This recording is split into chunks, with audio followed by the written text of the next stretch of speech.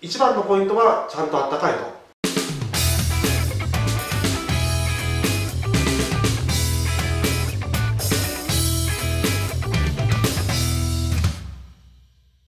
どうもこんにちは。今回はですね入れ黒の寝袋こちらをご紹介していきたいなと思います。今回の寝袋なんですけれども今まで動画で登場してた寝袋よりかは一回りぐらい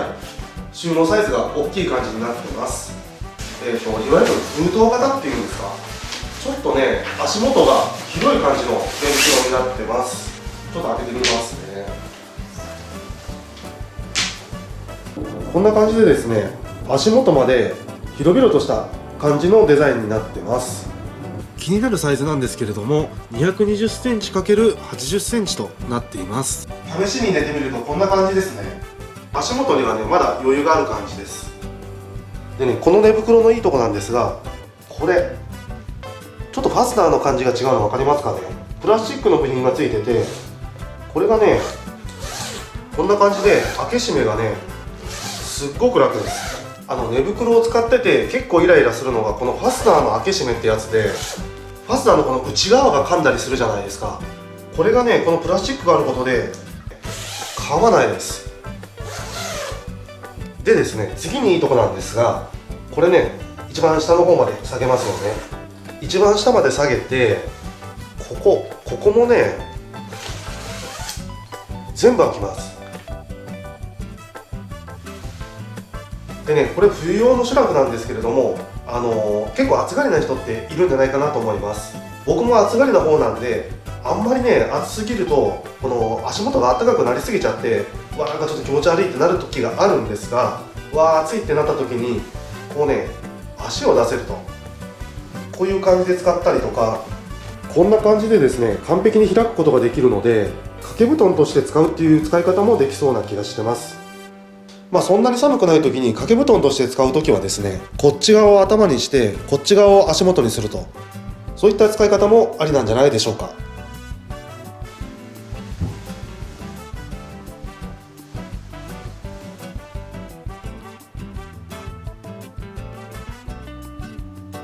シュラフの広さなんですけれども今ね足を結構開いてます。どれぐらい開いてるかっていうとこれぐらい。これぐらい開けてればもうね足元が窮屈で寝れないっていうこともありません。で肝心の暖かさなんですけれども今ねこれ昼間っていうこともありますがもうこの辺がねポカポカしてます。まあ洋服とかでもあるようにこれ化学繊維でできてるのでまあやっぱり暖かさはかなりありますよね。でこれ実はですね先日ミニーちゃんと一緒にキャンプをした時に初めて使ってみました。えっとミニーちゃんの方にタラコちゃんを使ってもらって僕はねこれで初めて寝たんですけれども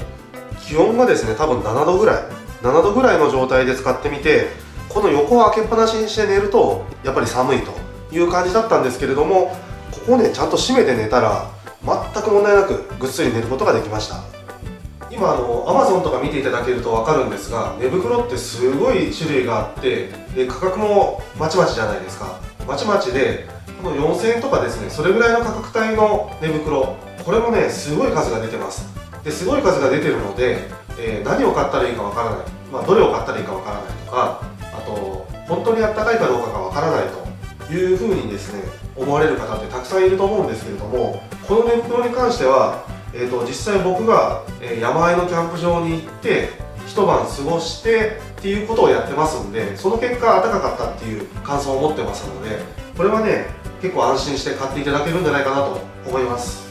まあ、その何万円もするシュラフを持ってる方っていうのはこういったものには興味がないかもしれないんですけれども、えーと、これからキャンプをしようという人とかもう安いのでいいからとにかく冬用のシュラフが欲しいというふうに思ってらっしゃる方はこういったものを買ってみるっていうのも一つの手なんじゃないかなと思います。あとですね僕もそうなんですけれども、えーと、お子さんと一緒にキャンプに行ったりとかするときにですね子供用のシュラフという感じでもですね、えー、まあ、そこまで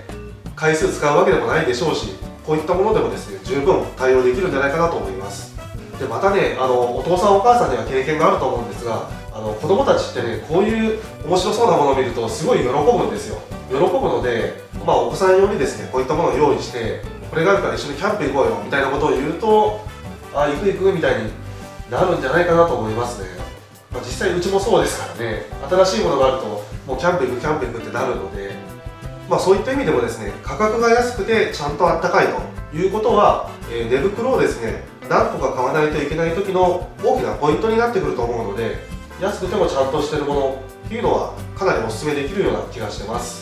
あとお手入れ方法なんですけれども丸洗いが可能になってます。なので、まあ、多少汚れたらこう丸洗いしてもらうという感じでお手入れも簡単っていうのがいいですよね。丸洗いができるっていうのはかなりポイントが高いと思います。椅子とかを使わないでそのまま地べたにこうなんかマットかなんかを引いてすごいロースタイルで過ごす方っていうのもこんな感じでですね、えーと、ただの膝掛けとして使ったりすることもできると思いますのでかなりねあったかくいろんな風に使うことができるんじゃないかなと思います。じゃあですね収納してみましょう、まあ、この収納方法に関してなんですけれどももしね間違った収納方法だよっていうことがあればですねまたコメントでご指摘いただけるとありがたいです、まあ、まず適当に折りますね。で半分に折ります。う適当に巻いていくと。で袋に入れると。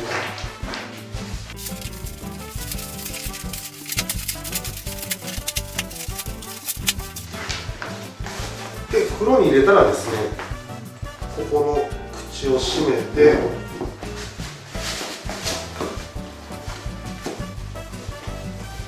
こんな感じで収納は終わりです。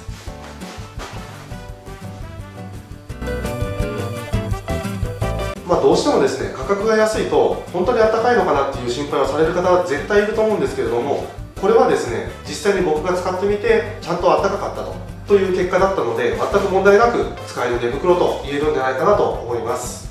まあ、一番のポイントとしてですねまずちゃんとあったかいということがあってその次のポイントとして価格が安いということがあるのでこれはねもう1個寝袋が欲しいなと思ってる方にすごくぴったりのものなんじゃないかなと思います。この寝袋のですね詳しい情報は説明欄に記載しておきますので是非見てみてください。それでは。